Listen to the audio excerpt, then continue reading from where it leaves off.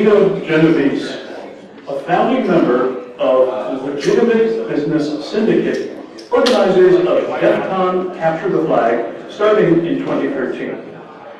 Vito's work includes building infrastructure for distributed software development, designing and building both cloud-based and on-site scoring systems for cybersecurity games and visual design. Let's hear it for Vito. So, hello everybody. Uh, happy Saturday. Uh, hopefully I just fixed my collar. I made the terribly unwise decision of messing with it right before I talked. Uh, so today I'm going to be talking about what I've learned writing Capture the Flag challenges. So when I talk about Capture the Flag, or CTF, uh, it's a really, really broad category of game.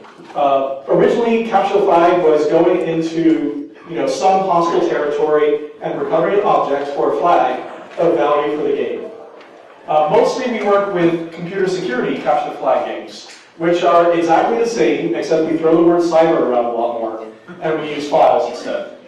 The most popular form of computer-based capture the flag game is Jeopardy-style games. Uh, so up here behind me, we have a really small sample of the board, and I drew it instead of rendering it in HTML. So we have some categories. Each category has some challenges. Each challenge is worth some points. Uh, one of the challenges, the 200 in the shellcode category, is on fire, which means if you solve this challenge, you get control of the board, and you get to decide what challenge you unlock next. It's just like real Jeopardy, except the questions are a lot harder and a lot more open-ended. The other form that we're familiar with are attack defense capture the flag games. These are complicated, so I'm going to explain the rules a little bit. So this is a game with uh, White Hatter Computer Security Club from USF here in Tampa against Hack UCF from here in Central Florida, or over that way somewhere. Is anybody from Hack UCF here like defend you guys? I'm from both. Okay, look at this guy. Uh, and, at the bottom, and at the bottom, at the bottom we have the uh, scorebot. And the scorebot is not a player, it's the scoring system, the referee, the scorekeeper, etc. So at the beginning of the game, let's say both White Hatters and Hack UCF have one flag each. White Hatters then builds an attack, or an exploit, launches it against Hack UCF to try and see if they can steal a secret. They stole the secret successfully, and they get UCF's flag. However, that's not the whole game. There's this concept of defense and uptime. So the White Hatters, in fixing their security issue, they've introduced a new flaw in the way the program works. So every round, the scorebot sends out these tests to make sure the service still works as intended. And White Hatters, because of their bug, have failed this test while Hack UCF passed the test.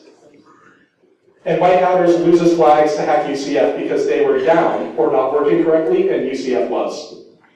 So that's a very high level overview. Uh, you can spend hours debating scores, like we have in our secret lab. Uh, but that's not. So we run our game, our attack defense game here at DEF CON. Uh, so this is DEF CON 2015, I think, uh, back when the first year we were in Bally's. Uh, it's a huge crowd. I think the whole conference has like 20,000 people attending now. It's spread over a weekend. If you can trick your boss into paying for Black Hat Vegas, you just pay the extra to like 200 bucks to do DEF CON over the weekend and get trapped. I mean, learn lots of valuable skills. At DEF CON in 2016, they hosted the Cyber Grand Challenge. Uh, so this was a computer hacking contest sponsored by DARPA. It took the form of a very specific flavor of capture the flag game, and it was played entirely by, by autonomous computers. So there were humans involved. They had spent years building the software that runs on these computers to automatically hack software. And then they had to spend the whole game in a pen filled with couches and beverages and news crews and not actually hack any software themselves. There was a big air gap around the stage. It was a really slick production. Uh, you should have been. So the way the uh, CGC works is much like your regular attack defense game. You have a game server that's keeping score, you have a cyber reasoning system, or CRS, and you have another cyber reasoning system. And each CRS, think of it as a team. So CRSs ask the game server for challenge sets. At the beginning of the game, every team has the same challenge binaries in a challenge set. Uh, so they download, the CRSs grab these binaries, and the CRS is then able to upload new patched uh, challenge binaries that don't have a vulnerability, and they're also able to upload a proof of vulnerability, or POV, that demonstrates a vulnerability against another team. Uh, think of POV as an exploit, just you know, made friendly so you can get government money. CRSs look like this. Uh, they're a huge rack of servers, and that label on the side that says CRS was a big cooling thing that sent like hot water out to a truck in the parking lot that cooled it off. Uh, it was really slick. Uh, one of my favorite parts of CGC was it gave us a lot of really, really good jargon, like a cyber reasoning system, which is a computer that plays CTF on its own. Proof of vulnerability is kind of an exploit, but it's more of a, feels more scientific. Uh, proofs of vulnerability also have a very specific structure. They're a particular subset of uh, C program. Replacement binaries are, you know, a patched binary, and challenge binaries are mostly what this talk about is about. So I have a challenge binary for you called besties, uh, BST for uh, B-Sides Tampa. So if you go to besties.notmalware.ru, totally, totally legit BS was the second best me in this talk. Uh, you can download this file, uh, you can hack it. I actually do have a prize for the first uh, person today to give me the answer to this binary. Uh, so spend some time if you want to solve it, but also please pay attention to talks and waiters. So what is a CTF challenge anyways? A CTF challenge is a computer thing that teams attack, and it should protect something of in-game value. Uh, we mostly run CTFs with binary files because that's what we mostly run CTFs with, so you get that nasty habit. Uh, CTF challenge should be known solvable. It's bad form to put something up for players to solve and say, is this exploitable? I don't know, you tell me. Uh, because running a CTF is a lot of customer support. Ideally, a challenge binary should be appropriately tricky as well. And I'll go into why more. So some challenges seem insurmountably hard. Like whenever I play a CTF game, most challenges are like this huge brick wall that's blue for some incomprehensible reason. Uh, it's a brick wall protecting the flag, and I know I have like no chance on solving it. Whenever other people play CTFs, uh, people that are good at CTFs, they see a challenge that would be a big blue brick wall for me as a little yellow speed bump, and they can solve a challenge in like 20 minutes. It's kind of embarrassing. So what, what does solving a challenge even mean? It usually means trying to figure out how some piece of software works, and what input you need to maybe get it to the correct side of an if statement that makes it print out you want. That's it. Uh, it may involve cracking a code, like breaking a cipher. It may involve using SQL injection into tricking a database or website powered by a database into making you an administrator so you can read private messages. It may involve stealing the garbage file from the sim if you're in a movie and wear rollerblades at work. so how do we actually build a CTF challenge? So I'm going to be talking mostly about a challenge from last year's DEF CON qualifiers called Thousand Cuts. Uh, and it may or may not be named as the level in Borderlands 2. So our original goal was to get teams to get in the habit of writing a cyber reasoning system, but a simple one. And the reasoning for that is in 2015, we announced that our 2016 finals game would work with computers that won the DARPA Cyber Grand Challenge, uh, which would mean we have to build this game in a way that would be interesting for a computer that can solve binaries quickly, but not intuitively necessarily. The game would have to be possible for a computer to play, which would mean that we would have challenges that would be easy for a computer to take apart, even if a lot of our teams were not, you know, made of computers or made with people that were competing in CGC. So we wanted to push teams into building a uh, cyber reasoning system. Uh, we also wanted them to get used to dealing with a CGC binary, or CGC executable format. So uh, Linux, BSD, and I think Solaris, or what's left of Solaris, uh, Joyent SmartOS, uh, can all run ELF binaries. ELF binaries have a like ELF magic number at the top. They have a file header, which is a table of contents to all these different sections, which have section headers. CGC binaries are almost exactly the same, except the magic number is different, and like I think one of the sections has a different number. But CGC binaries also have another really, really useful property. They, they can only make like a half dozen different syscalls. Like they can't get random numbers Uh, they're designed to really be really, really easy to analyze. So given the same standard in and the same initial state, they will produce the same standard output, the same standard error output, they'll run in the same number of clock cycles and make the same syscalls every time. Uh, this is really, really valuable for a you know, computer that's trying to constraint solve it because it doesn't have to worry that some function or some syscall will return different stuff in different cases. Uh, if anybody here is like a functional programming nerd, I like to think of a CGC binary as a pure function. Well, it, it has, do you, do you count standard out as a side effect, or do you, or do you count it as a return value? And that's the question. Uh, so why do we get people to automate things? Uh, or how are we going to get teams to automate things? We have to make sure that the theory side of this graph, where automating stuff is a big spike of work that saves you a lot of time as things go on, pays off. Uh, the reality means, yeah, lots of debugging. Uh, that's why the teams were given a year to write CRSs and not 48 hours. And the way we do this is by, if a team gets one single binary, they're going to put like a really smart guy on it, and they'll solve it in a few minutes, and that'll be that. If you give them a pile of a thousand binaries, they're going to start to want to automate it. So Thousand Cuts was just a collection of very, very simple buffer overflow attacks, or buffer overflow vulnerabilities with stack cookies.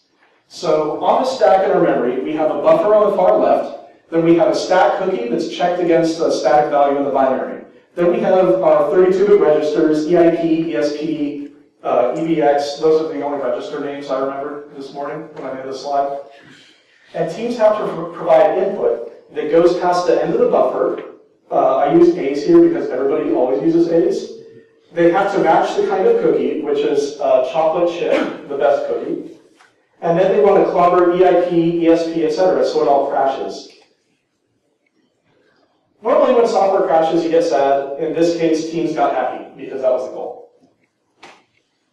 So because I wanted to split this into multiple like instances of challenges to give teams some ramping up and let teams that give something give them something easy and then medium and then hard. So in each set I had about 333 individual binaries and I named them after theoretical sandwiches because that's funny. Uh, at any time teams can connect and they would get well teams would first download like a big file with hundreds of binaries in it They'd connect to the service that would say, give me a string that will crash this binary, uh, and base64 encode it to prevent weird network stuff from happening. Uh, they would solve that, they would say, okay, that crashed, do this binary next. And if they could crash 10 of these random binaries successfully, they get the flag and win. And this is what a theoretical sandwich is. Uh, it's bread, I made a list of different breads from around the world, different sauces from around the world, and different sausages from around the world. Uh, so some of the sandwiches were real and you could eat them. Most of them are theoretical. Uh, so with this all written down in like three huge CSVs of uh, bread, sauces, and sausages, I had to actually build the challenge. So this is just a normal building software process. I used the service template instead of running like Rails new service name. I would copy the CGC service template. I would write a test that made sure it didn't crash whenever provided with input that shouldn't crash it and then I made a binary that passed the test. Then I wrote another test that should crash it, and made a binary that crashed. Uh, steps four and five, they look really small there. That part took me about a day because I'm not good at binaries, and I'm gradually improving at my GDB skills. So in those five steps, I've got the first of 334 binaries done. Uh, after that, that one only took me about two days, so given like two years, I could get all these binaries done. Uh, instead, I wrote a Ruby script. It varied the buffer sizes in the stack cookie just to make things easy. And I made a Python script that would do this game flow. Make, prompt you for 10 different binaries, collect the input, see if it crashed. Once that was out of the way, I tried to figure out what would make the second and third sets more difficult and how to do that. So for the second set, what I wanted to do was I believed that the the magic number or the the stack the stack buffer sizes and the cookie that were being checked were at the same spot in the binary, and I didn't want people to just you know, write a script, read this thing from this part of the binary, read this thing from this part of the binary, and use that to generate the crash string. What I wanted was for teams to have to actually do something that dealt with the compiled code or the assembly code. So I added stuff to the source code to scoot stuff around in the file and chain, like make teams have to actually write a cyber reasoning system and not a Perl script that reads from a file.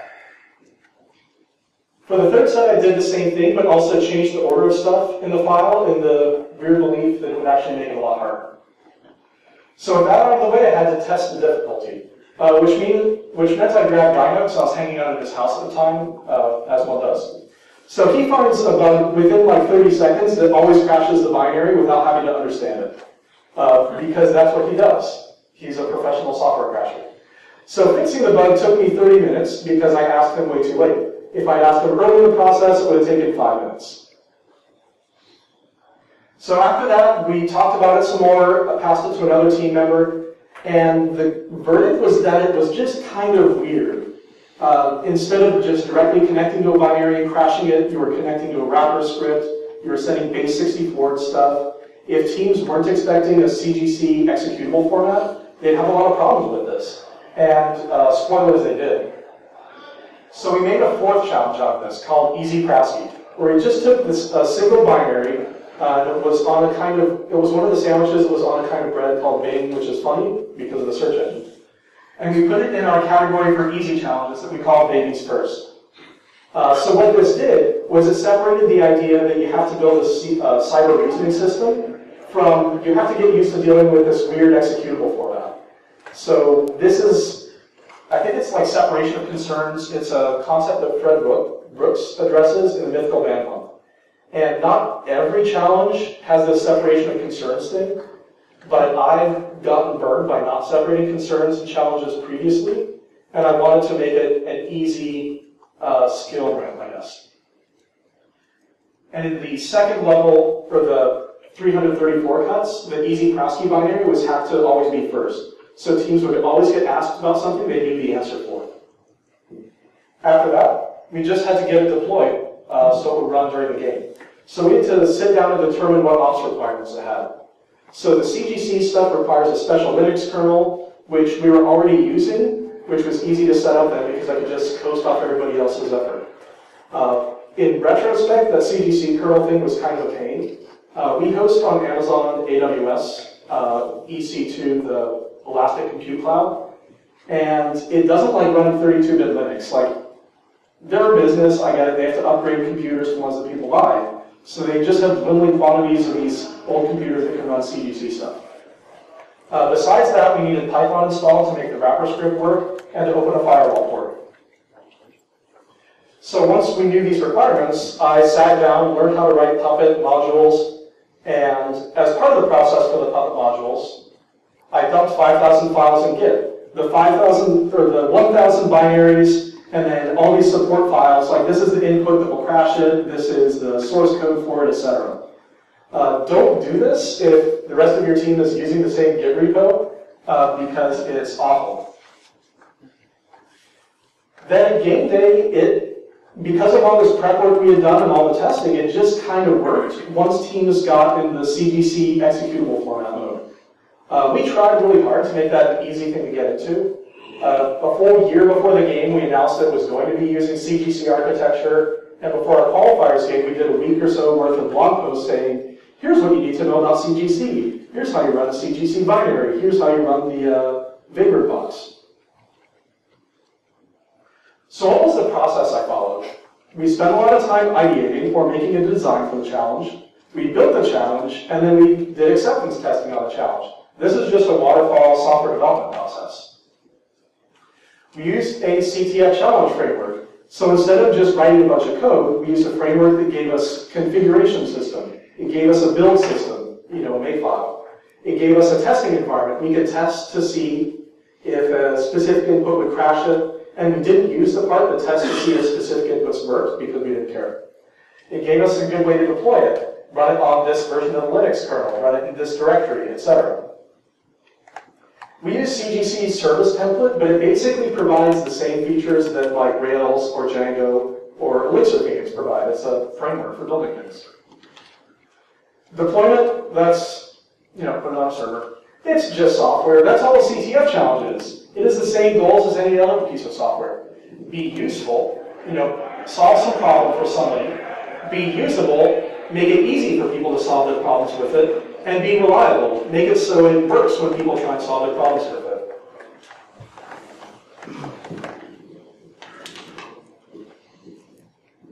Am I going too fast for anybody? Because I feel like I'm going fast.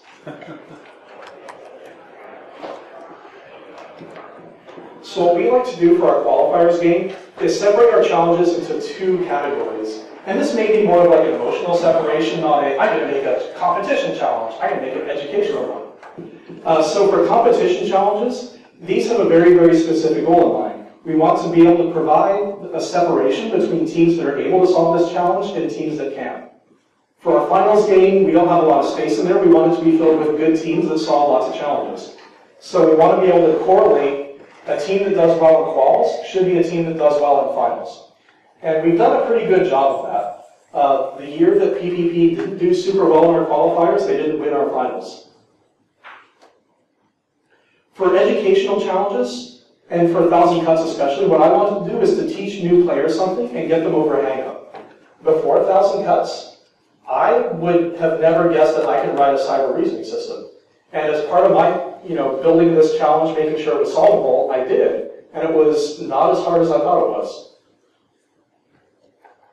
So besides usefulness, we have to worry about usability. We want the difficulty of the challenge to only be the difficulty that we intended it to have.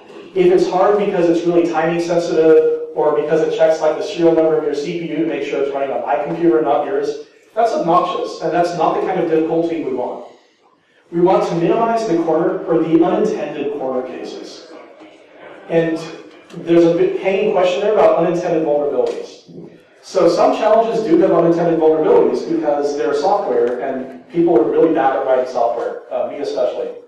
Uh, one of my challenges, in I think 2013, was a web challenge that you had to uh, bit flip your way through a an encrypted cookie in order to become admin.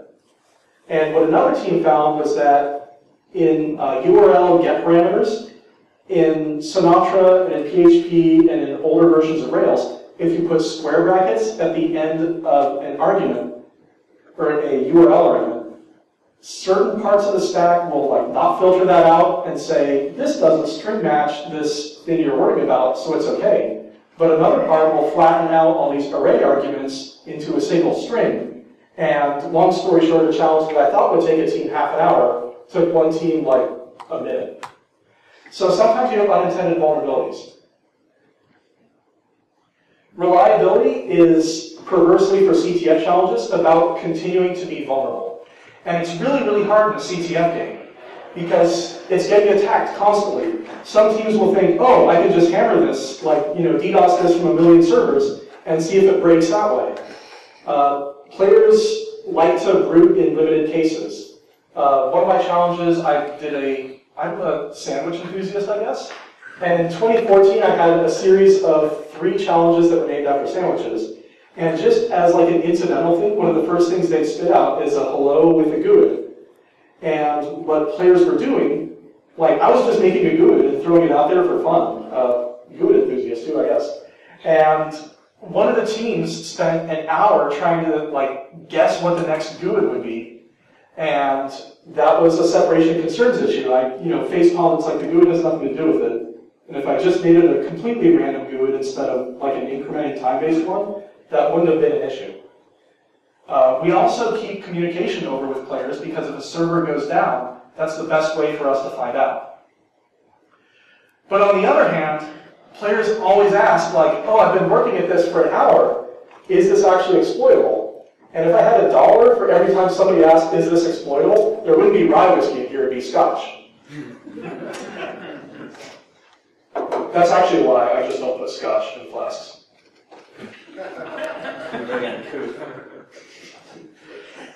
Reliability is demanding. It's not just demanding of your time, it's very emotionally demanding, and that's why I break.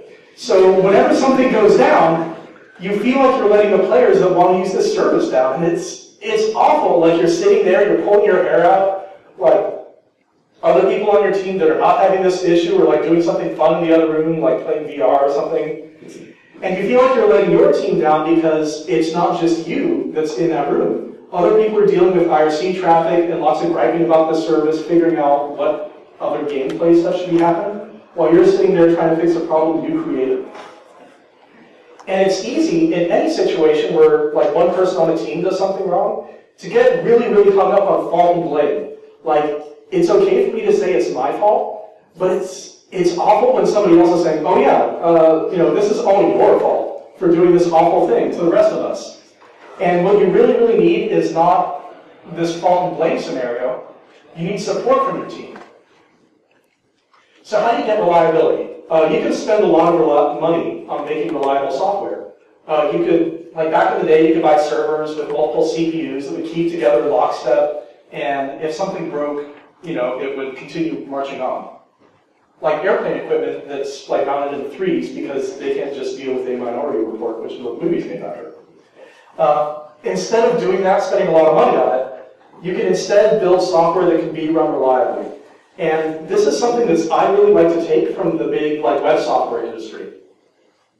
So there's this concept called a 12-factor app. It came from some people that work at Heroku, and I really, really like writing software for Heroku, and I really, really like this idea of these 12 factors.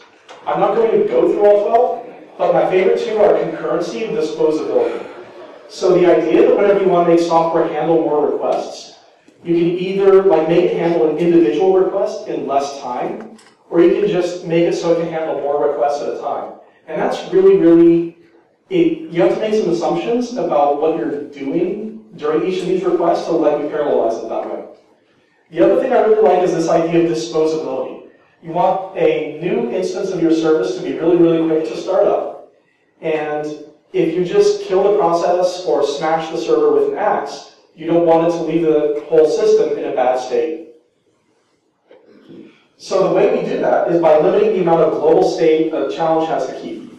Uh, so for example, for the 1,000 cuts challenges, there's no global state. Whenever somebody connects, they get a couple instance variables in a fresh Python process, and whenever they disconnect, the Python process gets killed by xinetd, which I love a lot.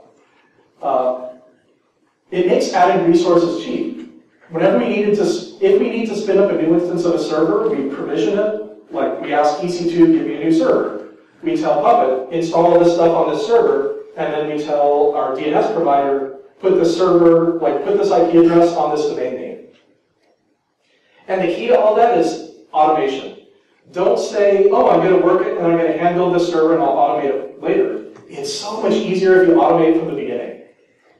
Uh, so if you're provisioning servers ever, get in the habit and get the knowledge to use Puppet or Chef or some other tool that lets you keep your server configuration in version control and just say make a new server over here with that or make a new Vagrant image running this stuff.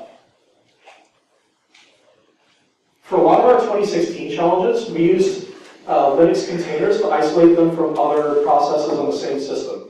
Uh, Docker is a wonderful tool for using these containers or for building and configuring these containers, except it's slow to start up because it does a lot of clever stuff, like clever useful stuff with the network, but wasn't super useful in our case.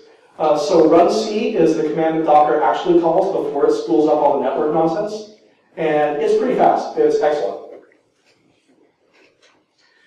So for shared state, sometimes you do have to have shared state, like keeping a process per connection that doesn't talk to anything else doesn't always work. Um, my 2014 sandwich challenges, because instead of using like fast C, I wanted to do like elliptic curves in one of them, which means like the C libraries for that were not what I wanted to deal with. I wanted to use Ruby libraries for it. So I used JRuby, the Java implementation of Ruby that has great performance after it's been running for about five minutes and celluloid, which provides good threading support. Uh, so once it got started and once it got rolling, it's super, super fast. And keeping the state per connection, but the server is still running the whole time, did work in this case. But sometimes you can't just do, you know, state per connection. Sometimes you want global shared state. So web challenges are like the, you know, global shared state thing. If you have a challenge with persistent cross-site scripting, what you basically have to do is now you have to talk to a database. And this database you want to be global in case your Anycast DNS sends somebody to a different data center. Uh, I don't go into Anycast DNS at all. It's magic as far as I know. So one of my 2015 challenges was called Waiting for Your Touch. Uh, it's named after the Internet Explorer commercial. Um, so 2014, 2015 or so, I think maybe it was April Fool's Day 2015, there was a subreddit called The Button. And it was a button that had a timer counting down from 60 seconds. And whenever anybody in the world pressed the button, it would reset the timer. And people in the subreddit would, you can only press the button once ever per account, and your account had to be created before the button was created. So what people would do is they would wait for the button to count down, because if you clicked the button at 5 seconds, it was cooler than if you clicked it at 59 seconds. And people talked about like, oh yeah, purple people that clicked it under 30 seconds are cooler than green people or blue people. Uh, because you need some way to isolate yourself from other people for reasons I don't know. Uh, the point is, it was a really, really complex challenge. It used JRuby again because it was a Rails thing, and CRuby doesn't do threading super well. And I needed threading because I was using WebSockets. So everybody that connected would get a persistent TCP connection between their web browser and between the server uh, running in the cloud. And it used Postgres to manage the state of the button. So it looked kind of like this. And there's an issue here on the right side of the diagram. As soon as this challenge went live, it quit being waiting for your touch and it started being waiting for the challenge.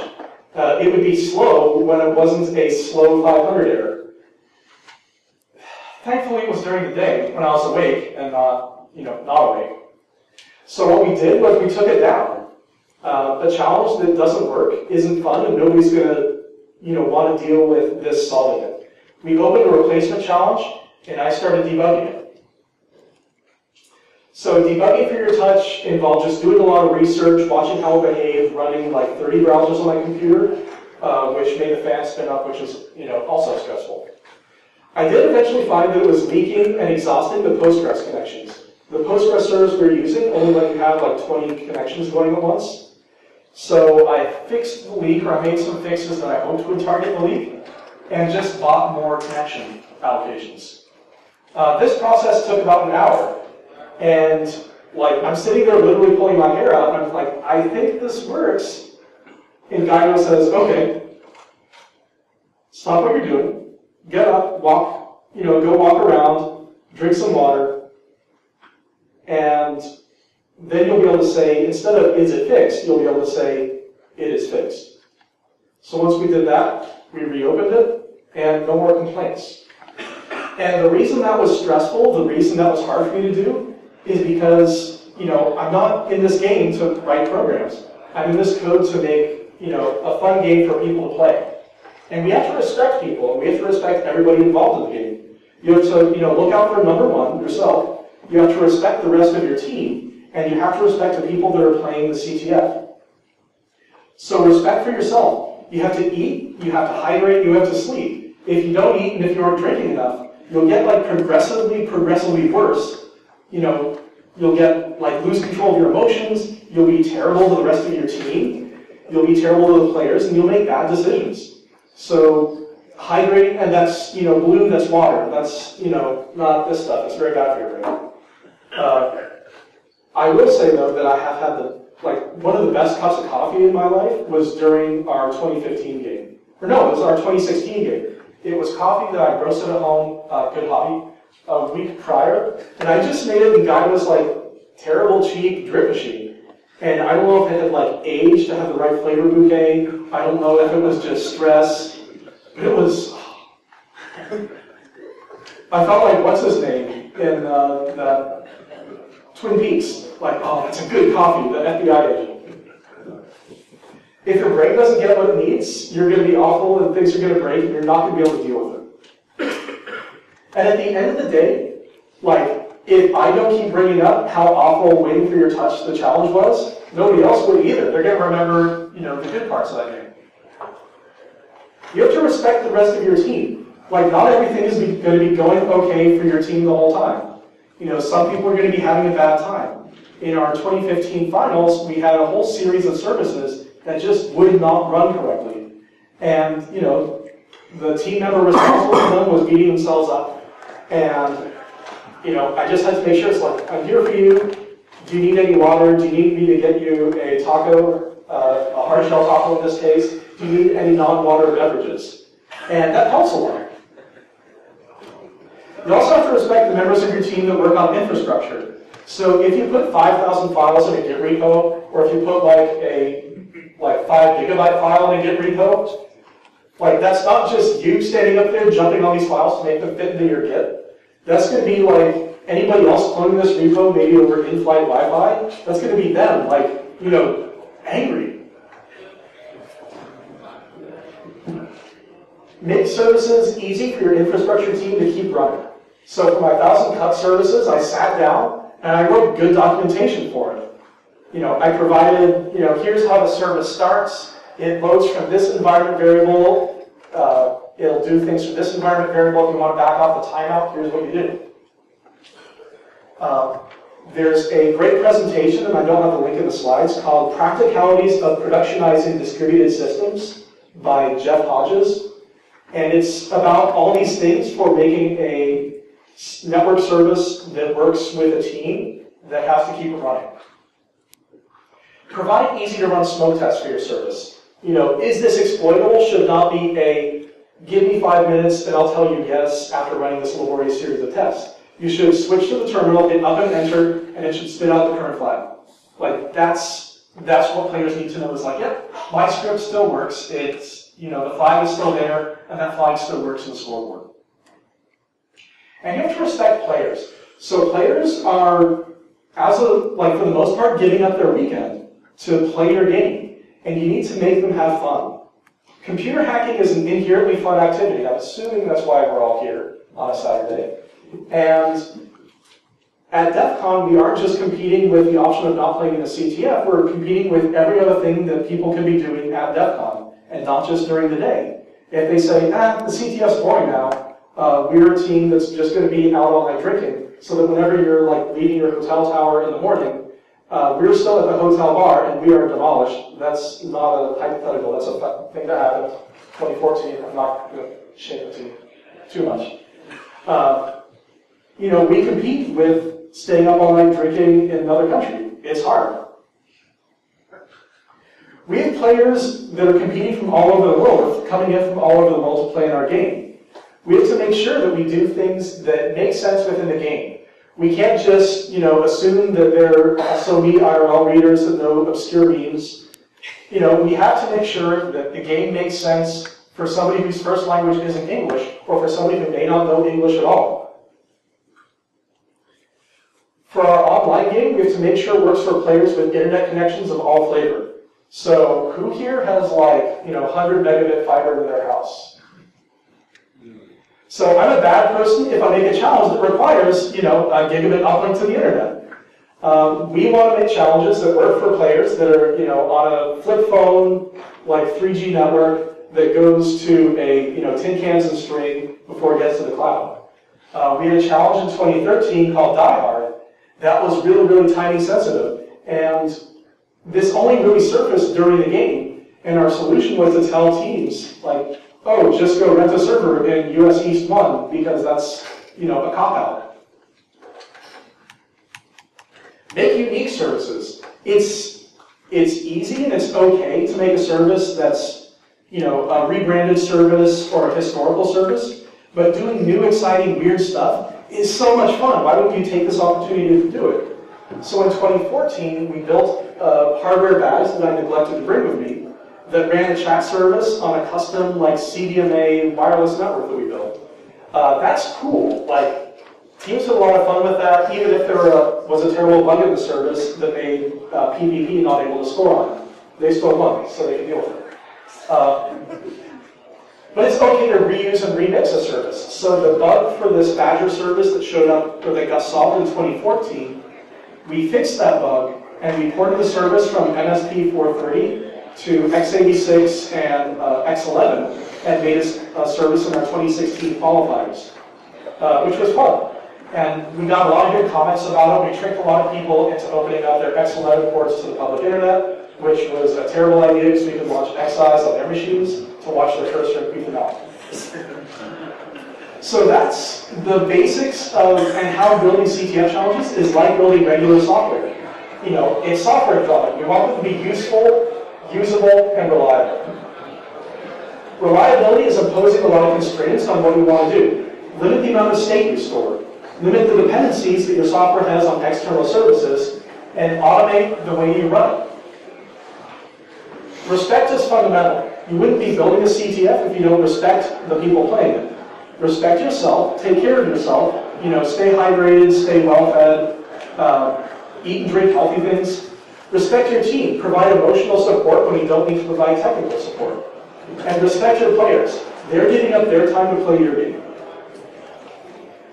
And with that, I'm open for any questions, and if nobody asks me a question in about 30 seconds, I've got some questions ready to answer.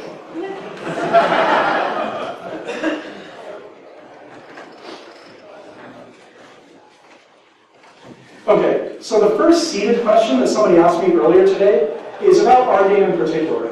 And the question is, why do you think CTFs keep getting harder? Uh, so we, we won't lie, we make, you know, one of the hardest CTFs around. It's all binary challenges and finals, and it's because our players are, you know, really, really good. Uh, the team that won our game in finals this year, PPP, the Carnegie Mellon team, this was, like, they won our game within, like, two days of them winning $3 million at CGC. And if we don't provide hard challenges, so much of the game comes just down to execution of how well you're able to score things and how quickly you're able to patch. Versus, are you able to make this new breakthrough in software that's never been reverse engineered before? So, we make a hard CTF because some of our players want a hard CTF. And what I have a problem with, and what I don't have a great solution for, is that that lets down every player that's not PPP level. Like people like me, I, I solved like two challenges from our CTF ever that I didn't write. And one of them was last year. Uh, I do a new package of software to do it, to make this challenge that would have taken me like a week, to make it take like three hours instead. So what we need to do better, and what I'm not sure we're going to be able to do better this year, is to make more challenges that are easy, that are still like semi-fun or a good warm-up for people on, you know, more advanced teams. Uh, that said, there's a lot of room for easier, more CTF games. If you want to run a CTF game, don't just watch a bunch of YouTubes about it, uh, like I'll recommend you do, because uh, I made a YouTube about it. But, you know, build and run a CTF game. It doesn't have to be for a huge worldwide audience. Run it for some local friends. Figure out if you can run it at like a weekly or monthly hacker meetup or something. So that's why I think that our game is so hard, but it probably shouldn't be. Any other questions?